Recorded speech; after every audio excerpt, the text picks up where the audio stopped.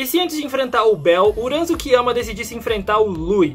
Vamos ver como seria uma batalha entre Uranzo Kiyama e o Lui, utilizando o combo padrão do Glide Ragnarok e também o combo padrão do Raid Longinus. A batalha vai até 5 pontos, vamos lá.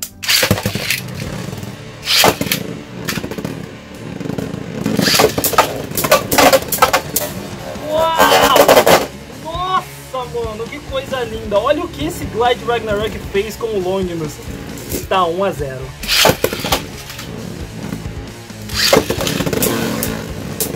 Longinus.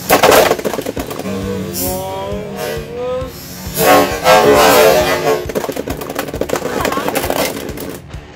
É isso que eu chamo de burst. Tá 2 a 1 pro Longinus que não perdoou o Ragnarok dessa vez.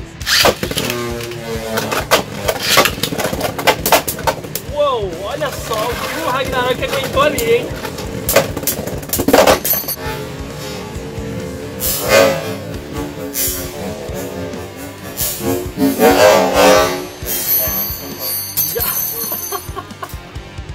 que burst maravilhoso, cara. 4 a 1.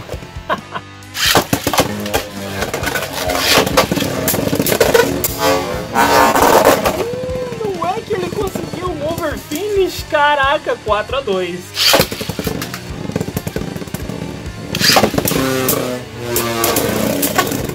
Vai o Longinus. Brabo demais. Vai o Ragnarok. Vence na resistência, mano. Cara, eu não acredito que ele aguentou aqueles golpes do Longinus. Ainda bem que eu gravei isso. Não... Porque se eu contasse, ninguém ia acreditar. Será que o Glide vai vencer? Porque o, o 3 tem chance de raspar no, no chão da arena. Ragnarok leva por pouco, não acredito. Tá chegando em 4 a 3.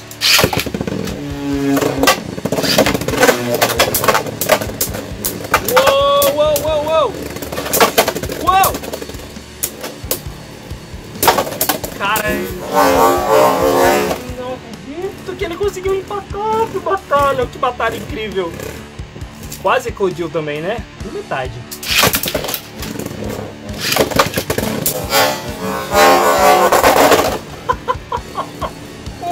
Golpe.